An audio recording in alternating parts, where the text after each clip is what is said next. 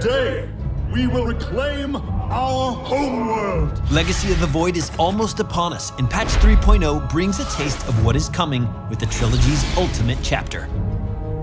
This video will walk you through the sweeping changes we have made to the user interface and the reasons why we feel it will be an ideal home to StarCraft players, both new and old, for years to come. My life When considering a redesign of the interface, we wanted to make a strong visual impact with the inclusion of 3D artwork across all the main navigation pages. And for fun, some of you may recognize our tribute to the old Brood War campaign selection screen. We have streamlined user navigation and kept most of your clicking to the upper left-hand corner, with section subpages listed just below their respective headers.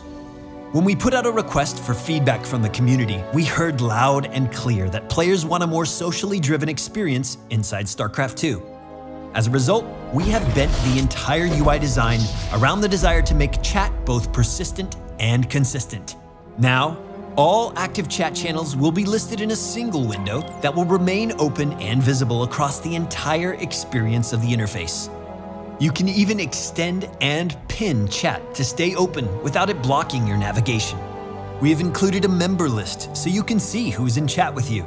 You can use recognizable slash commands and hotkeys and even filter out other channels to focus on a single conversation.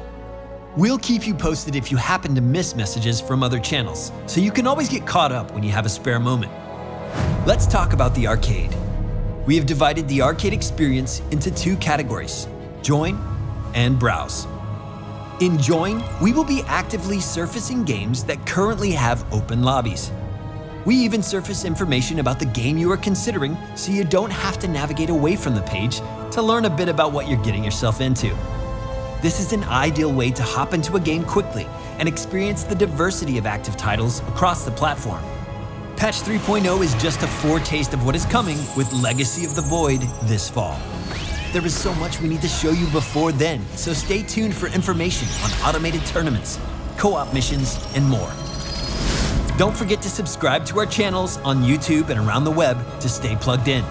We'll be talking to you very soon.